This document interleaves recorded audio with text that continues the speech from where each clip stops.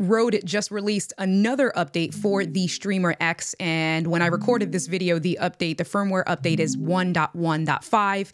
Didn't give too many details about what was included in the update. What I can see for sure, if we go ahead and we take a look at um, the software, the Rode Connect software, I can see that some of the the icons down here along the bottom where it says streaming presentations, this is now in color coded options. So super cool, stands out a little bit more. Um, and then when I went through kind of like the initial so when you when you update it and it gives you that initial walkthrough it actually explained what the purpose of like presentation mode does and things like that it'll tell you that you can use the smart pads to you know take advantage of it so that's one thing but the other thing that I want to show you guys, I wanted to talk about, and I want to give you guys a warning to change this particular setting is if you are using a camera right? The way I'm using a Sony a7C to bring in my video feed. If you keep a microphone connected to that, if your audio levels are anything above, let's say five or six, that's going to interfere and bring in some noise floor and some static into your recording. So if we take a look right now in my Rode Connect app, you can see over here that the HDMI levels are currently set to zero. On my camera, the audio recording level is set to 22 because this morning I did have my camera upstairs and I was doing some recordings of my family. So I did need my microphone volume on the camera itself to be a little bit higher.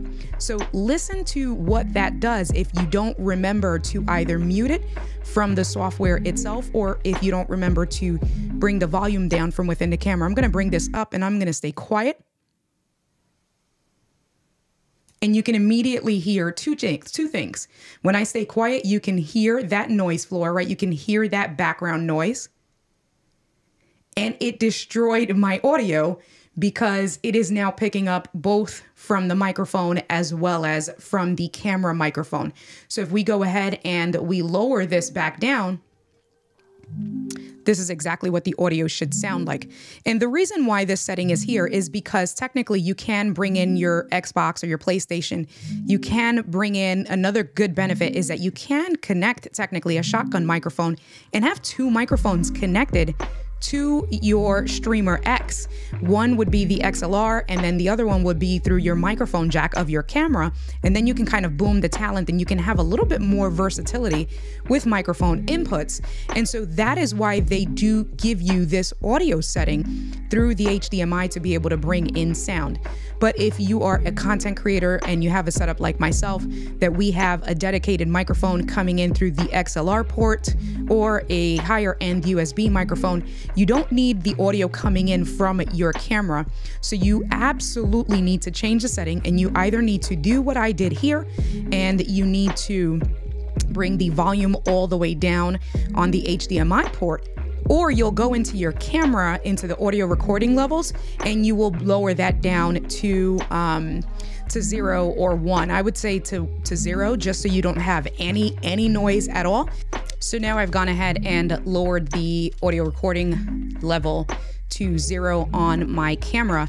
And what we're going to do is we're just going to go into this HDMI setting and I'm going to bring the audio all the way up just so you can see that difference there.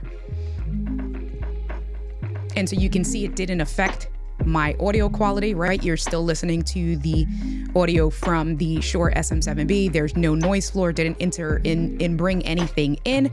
And so you absolutely need to make sure that you are adjusting that. And if you run into some issues, make sure you're testing out all your settings. All right, guys, catch you guys on the next one. Peace out. Yeah.